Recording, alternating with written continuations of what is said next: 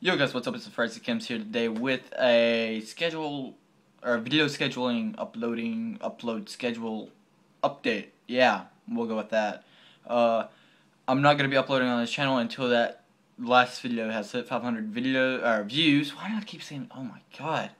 And so every time a video gets really close to 500, I will be recording another another video to get ready to upload it as soon as that last video hits 500 and I'm not gonna go off likes or anything like that. And I will be buying a camera real soon so I can get rid of this iPhone camera and stuff. Yeah.